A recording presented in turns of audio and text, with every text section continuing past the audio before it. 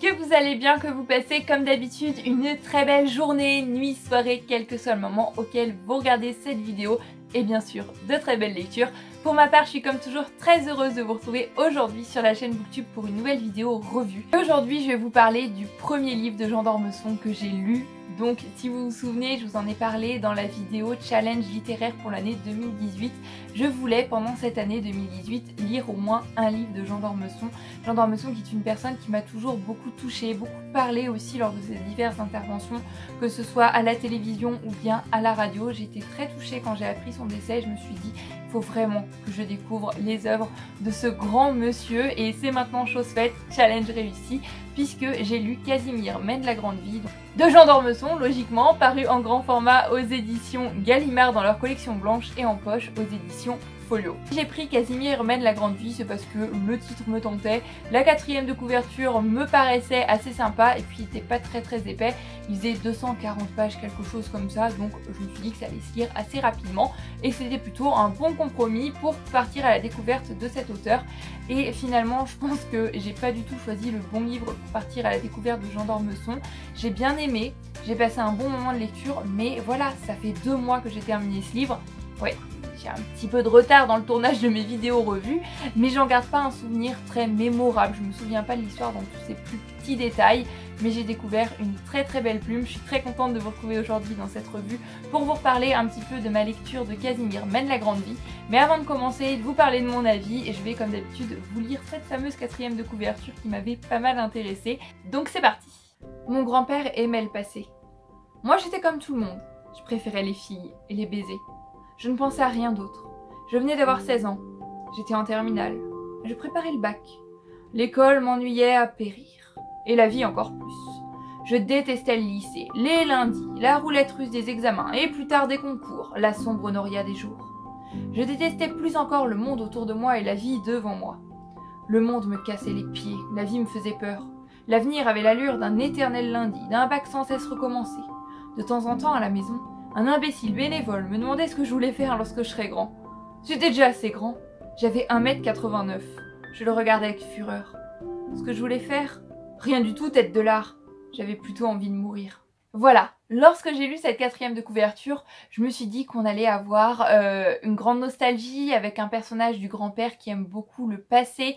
Ça, c'est un thème euh, qui m'interpelle toujours, qui m'intrigue toujours et que j'aime toujours beaucoup retrouver dans les livres. Parce que je suis moi aussi, je pense, une grande nostalgique et j'aime découvrir à travers les romans des personnages qui sont euh, nostalgiques et qui parlent avec amour d'une époque que j'ai pas connue. C'est une chose qui me touche toujours beaucoup.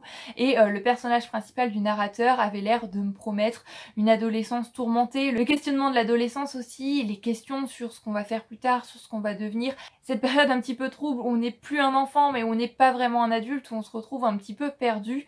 Et euh, c'est tout ça qui m'avait intrigué, c'est tout ça qui m'avait donné envie dans ce livre. Et finalement, j'ai un petit peu retrouvé ça, mais pas totalement. C'est pas vraiment le centre du livre, c'est pas vraiment le sujet du livre.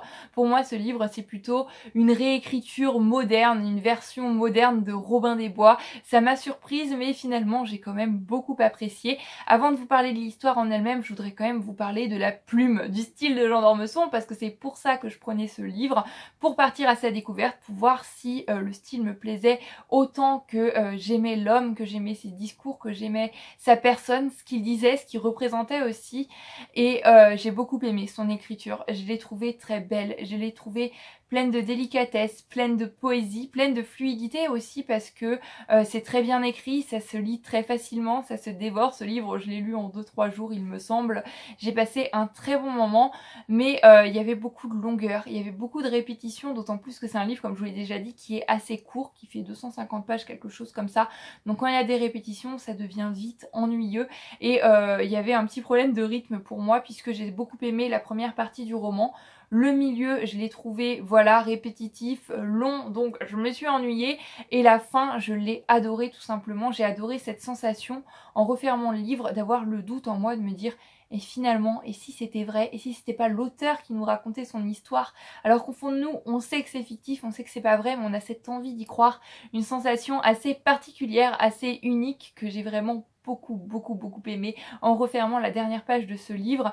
Mais cette écriture qui était belle, qui était poétique, par moments, je sais pas, j'ai trouvé qu'elle était lourde pompeuse comme ça, soudainement, sans réelle raison, sans réel besoin, juste pour en rajouter je sais pas, c'était assez perturbant, assez déroutant, mais c'est une expérience de lecture que j'ai beaucoup beaucoup aimé et même si ce livre-là n'a pas été un coup de cœur, c'est pas pour autant que j'arrêterai ma découverte de Jean d'Ormesson à ce titre-là seulement, parce que pour découvrir un auteur, j'aime bien lire plusieurs de ses livres, me faire un avis sur d'autres livres, et euh, il y a notamment des essais, il me semble, qu'il a écrit qui me tentent beaucoup, donc ça, euh, je garde ça dans un petit coin de ma tête, et puis euh, je relirai d'autres livres de Jean d'Ormesson, c'est sûr C'est un livre qui m'a aussi procuré beaucoup d'émotions, notamment à la fin où j'ai été beaucoup touchée parce qu'il arrive à certains des personnages. Et ce que j'ai beaucoup apprécié dans le style aussi, c'est l'interaction avec le lecteur. Ça, c'est une chose qui me plaît toujours. J'ai l'impression que le livre est encore plus réel que l'histoire et encore plus réel que le narrateur est juste en face de moi en train de me raconter son histoire, de, m'interpeller directement, de me dire bah, tu vois toi lecteur ce que je veux dire, tu comprends? Et je sais pas, je trouve que ça crée un lien spécifique entre le narrateur et le lecteur parce qu'on a l'impression, nous aussi, d'avoir notre part dans l'histoire, nous aussi d'avoir notre mot à dire. C'est assez difficile à expliquer, j'espère que je m'en mêle pas trop les pinceaux, que vous arrivez à suivre ce que je veux dire. Mais quand il y a de l'interaction comme ça entre l'auteur, le narrateur, le lecteur, c'est chose que j'aime beaucoup et que j'étais contente de trouver dans cette lecture. Même si je vous ai dit que j'étais assez émue parce qu'il arrive à certains des personnages à la fin du livre, et eh ben j'ai pas été attachée aux personnages autant que je m'y attendais. J'avais pas cette réelle envie de les retrouver, je me sentais pas attachée aux personnages. Je les appréciais mais sans plus. Voilà, j'ai l'impression qu'il y avait quand même une distance entre eux et moi. Et ça c'est une chose qui m'a un petit peu dérangée en plus euh, des longueurs, des répétitions, mais je pense vraiment et honnêtement que j'ai pas choisi le meilleur livre de Jean d'Ormesson euh, pour commencer, mais c'est pas grave, parce que ça veut dire que les meilleurs, ils seront pour la suite et j'ai hâte de les découvrir parce que je ne doute pas que je vais passer de très bons moments avec d'autres livres de Jean d'Ormesson. En tous les cas, rien que pour retrouver son style, pour retrouver sa très très belle plume, j'ai hâte. C'en est terminé pour cette très petite vidéo revue, j'espère qu'elle vous aura plu. Si vous avez lu un livre de cet auteur que vous avez beaucoup beaucoup aimé, n'hésitez pas à me laisser le titre dans les commentaires, je suis curieuse et je pense que j'en prendrai bonne note pour choisir mon prochain titre, mais je pense que ce sera peut-être un essai. Je vais réfléchir, je vais regarder un petit peu tout ça, mais ce ne sera pas le dernier livre de Jean d'Ormesson que je lisais. En attendant la prochaine vidéo, je vous fais, comme d'habitude, à tous plein de bisous. Je vous souhaite bien sûr de très belles lectures. Et pour ma part, eh ben, je vous dis à bientôt sur la chaîne Booktube pour une nouvelle vidéo. Prenez grand soin de vous. Bye bye